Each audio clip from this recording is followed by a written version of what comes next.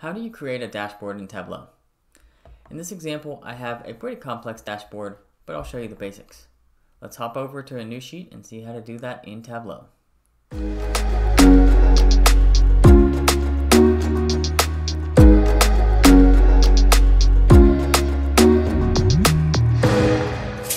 In a Tableau workbook, you have three things. Sheets, dashboards, and stories. Sheets are where you do all of the work. So this button on the top right will add a new sheet. If I want to create a dashboard, I'm going to click on this button here. Dashboards are simply a collection of sheets.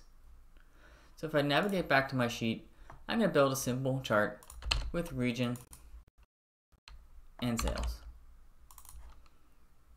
Let's make it a filled map. Pretty simple chart. Just call it map.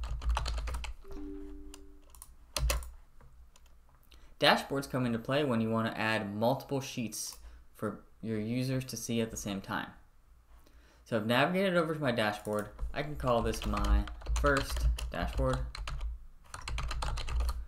and drag in my map sheet. Any sheet that you've built will be shown on the left hand side. So if I drag map over to the view, I have one sheet in a dashboard. Let's add more by creating a line chart. Let's grab date, put it on columns, and sales. So we have a bar chart of sales and change it to a bar.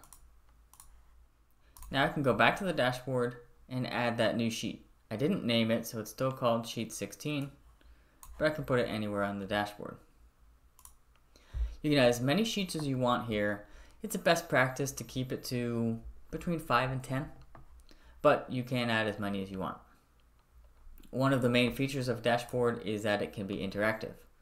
So let's click on the filter for the map, and then click on, let's say, Southeast, and the rest of your dashboard is now filtered down to only Southeast. And that's building a dashboard in Tableau. Hope this helps.